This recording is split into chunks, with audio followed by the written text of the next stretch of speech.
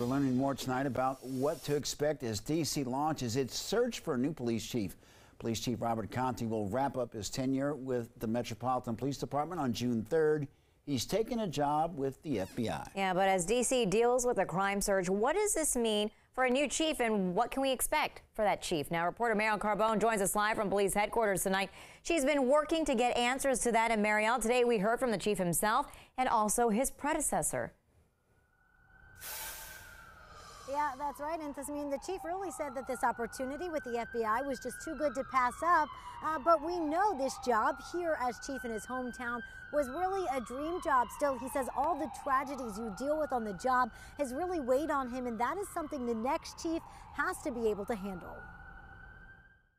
It is my highest honor, my highest honor to be able to serve the residents of the District of Columbia. And with that, Chief Robert Contee begins to wrap up his 33 year career with the Metropolitan Police Department. I'm able to leave out of here with my head high and my chest stuck out because I did everything that I possibly could for my city. But he admits it hasn't been easy. If I never have to hear another parent who lost their child screams, if I never have to hear that again, I'm okay. Dealing with those tragedies will now fall to the next chief of police. We are conducting a national search. Who the district is already searching for. It's not an easy job. It's going to consume your life. Peter Newsham knows what it takes to do the job. He's now the chief at Prince William County Police Department, but served as DC's police chief for three years. I think the most important thing we need to do in policing today is to inspire our people to do this work. The Deputy Mayor's Office of Public Safety and Justice will lead the search. Excellent leadership, a commitment to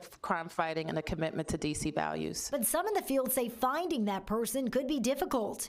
In a statement, Police Union President Greg Pemberton said, We believe that this process will be significantly more challenging than years past due to the negative climate around law enforcement that have been promoted by certain DC council members. I think you're going to have a wealth of very talented people that'll put put in for the position. You get to see things that people in other jurisdictions just don't get to see in Washington, D.C. Now, the position is already posted online and it is requiring at least 15 years of policing experience. Uh, Mark and Thasmin, it also says as one of the responsibilities that the chief will be uh, needing to build up and maintain a relationship between the police and the community. Reporting live from police headquarters, I'm Marielle Carbone, DC News Now.